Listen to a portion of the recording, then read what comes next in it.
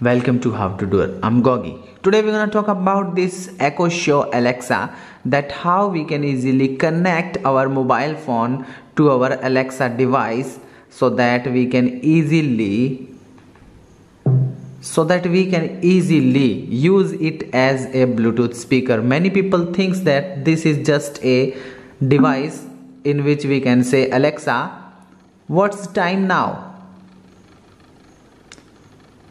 Alexa, time.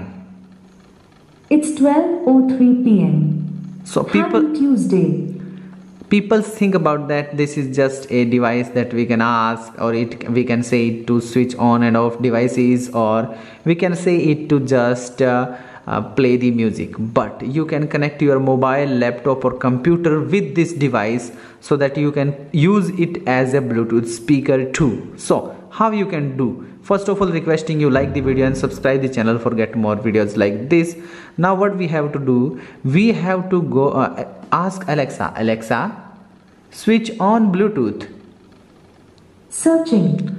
now we have to go to the bluetooth and over there we have to click on this alexa echo device. And it's connected. Now now connected to Redmi Note 11 T5G. now what, whatever you play on this device it will automatically go to the speaker. Listen to it.